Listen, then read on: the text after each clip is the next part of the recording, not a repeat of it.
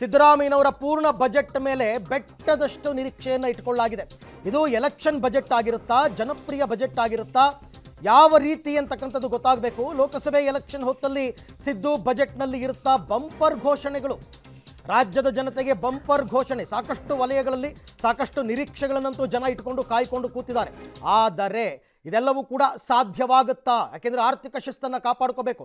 ದೃಶ್ಯದಲ್ಲಿ ತಾವೀಗ ಗಮನಿಸ್ತಾ ಇದ್ದೀರಾ? ಈಗಾಗಲೇ ಮುದ್ರಣಗೊಂಡಿರುವಂತಹ ಬಜೆಟ್ನ ಪ್ರತಿಗಳೆಲ್ಲವೂ ಕೂಡ ಈಗಾಗಲೇ ತಯಾರಾಗಿದೆ. ಇದನ್ನು ವಿಧಾನಸೌಧಕ್ಕೆ ಕೊಂಡೊಯ್ಯಲಾಗುತ್ತೆ. ಪ್ರತಿಯೊಬ್ಬ ಶಾಸಕರಿಗೂ ಕೂಡ ಇದನ್ನು ಹಂಚಲಾಗುತ್ತೆ.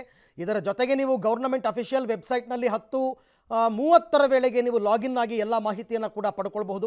ಮುಖ್ಯಮಂತ್ರಿಗಳು ಕಳೆದ ಎರಡು ತಿಂಗಳಿಂದ ಸಾಕಷ್ಟು ಕಸರತ್ತನ್ನು ನಡೆಸಿದ್ದಾರೆ. ಪ್ರತಿ ವರ್ಷವೂ ಕೂಡ, ಯಾಕೆಂದರೆ ಐದು ಗ್ಯಾರಂಟಿ ಯೋಜನೆಗಳನ್ನು ಘೋಷಿಸಿದ ಮೇಲೆ ಐವತ್ತೆಂಟು ಅರವತ್ತು ಸಾವಿರ ಕೋಟಿ ರೂಪಾಯಿಯನ್ನು ಇದಕ್ಕೋಸ್ಕರ ಎತ್ತಿಟ್ಟು ಉಳಿದ ಹಣದಲ್ಲಿ ಸರ್ಕಾರವನ್ನು ನಡೆಸಬೇಕಾದಂತಹ ಅನಿವಾರ್ಯತೆಗೆ ಸರ್ಕಾರ ಸಿಕ್ಕಾಕೊಂಡಿದೆ. ಒಂದು ಕಡೆ ಕಳೆದ ಬಾರಿಯ ಬರ ಪರಿಹಾರ, ಮತ್ತೊಂದು ಕಡೆ ಕೇಂದ್ರದಿಂದ ಅನುದಾನ ಬಂದಿಲ್ಲ, ಬರ ಪರಿಹಾರ ಬಂದಿಲ್ಲ ನಮ್ಮ ಜಿ ಪಾಲು ನಮಗೆ ಬಂದಿಲ್ಲ ಅಂತಕ್ಕಂಥ ಆರೋಪ. ಇದೆಲ್ಲದರ ನಡುವೆ ಒಂದು ವರ್ಷದ ಆರ್ಥಿಕತೆಯನ್ನು ಹೇಗೆ ಸರಿದೂಗಿಸ್ತಾರೆ ಮುಖ್ಯಮಂತ್ರಿ ಸಿದ್ದರಾಮಯ್ಯನವರು ಅಂತಕ್ಕಂಥದ್ದು ಬಹಳ ಮುಖ್ಯವಾದಂತಹ ವಿಚಾರ.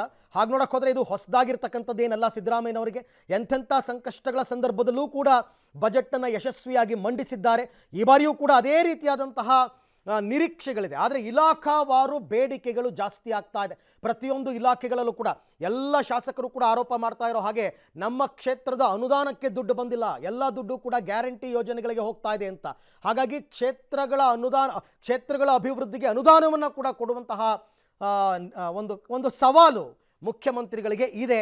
ಅದು ಯಾವ ರೀತಿ ಈಡೇರಿಸ್ತಾರೆ ಅಂತಕ್ಕಂಥದ್ದೇ ಸದ್ಯದ ಕುತೂಹಲ.